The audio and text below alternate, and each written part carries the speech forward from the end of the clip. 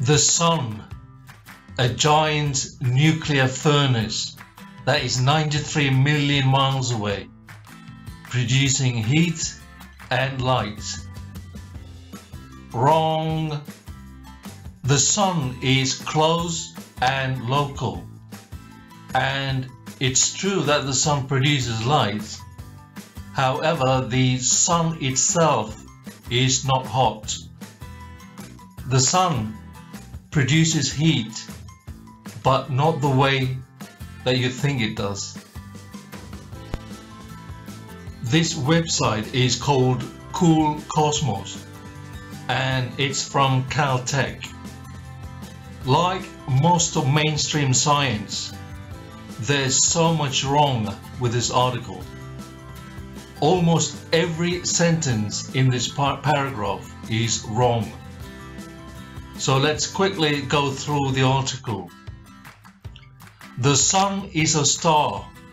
Wrong. If mainstream science doesn't know the difference between our sun and the stars, then there is not much hope in our learned friends, the scientists. Our sun is unique. Nothing else has the same properties as our sun. Stars, on the other hand, are really tiny compared to the sun. Stars have electromagnetic charges going through them. They are being charged and this charge produces starlight. You can see this effect when you zoom in on a star all stars are have different colors, shapes and sizes. It is a huge spinning glowing sphere of hot gas. Wrong. The sun is not as big as they claim it is because the sun is in our atmosphere. It is close and local.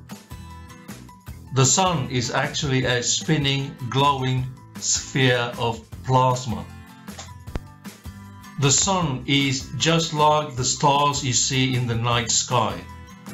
Wrong. See my previous answers.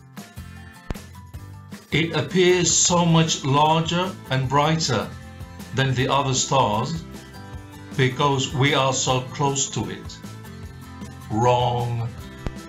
I know that you are saying that the sun is only 93 million miles away compared to the other stars which are light years away.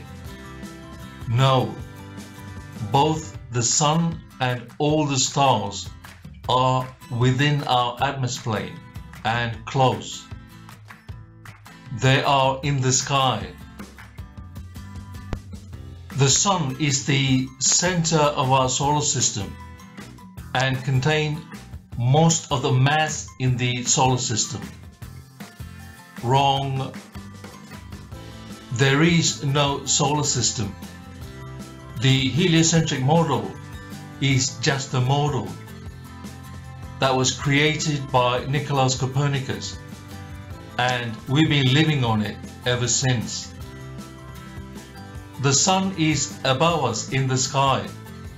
It travels from east to west on a daily basis. The earth is an enclosed system and all luminaries are within the container. All of the planets in our solar system, including Earth, orbit around the Sun. Wrong. As mentioned in a, about a minute ago, the there is no solar system. Planets are not planets.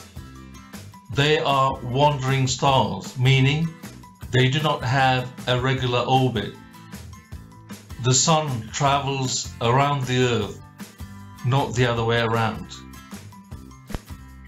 So it looks like our friends from Caltech are completely wrong about the Sun. They don't have a clue what the sun is. The men in white coats give us this cartoon as an example of the layers of the atmosphere, or rather the atmosphere plane. There is so much wrong with it. For example, look at the temperature gradient. As you rise in elevation, the temperature reaches zero, then goes below minus 85 degrees centigrade. Then all of a sudden, it magically rises to 200, 2000 degrees centigrade in the exosphere. There is absolutely no evidence for this. They just made it up because they felt like it. Nobody can prove those kind of temperatures at elevation.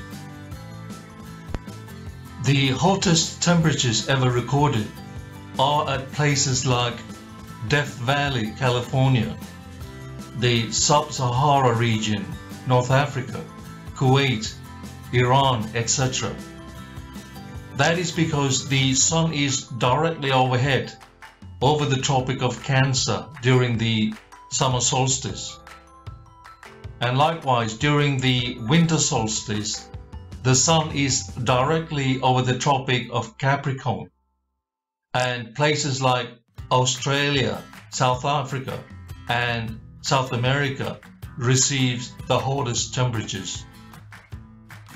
This proves that the sun moves between the tropics and this is one of the major reasons that we have seasons.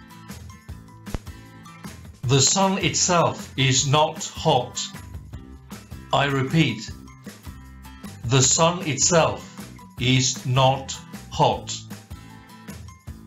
The sun is within our atmosphere. It is close and local.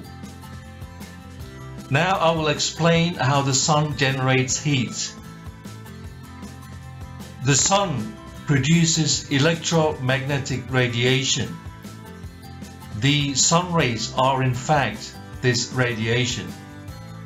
On Earth, we have a thinner atmosphere at height, at elevation, containing less denser gases such as the noble gases. At ground level, we have much denser gases such as nitrogen, oxygen, carbon dioxide, etc., etc., etc. So the sun charges the ions in these dense gases and the electrical charge from the sun generates heat. This is the major reason that the temperature is much colder at height. If the sun itself was hot, then the opposite would be true. The density of the different gases also explain the pressure gradient system. According to our friend Wikipedia, the current official highest registered air temperature on Earth is 56.7 degrees centigrade, which is 134.1 degrees Fahrenheit, recorded on 10th July 1913 at Furnace Creek Ranch in Death Valley in the United States. So the highest temperature the sun can generate is around 60 degrees centigrade.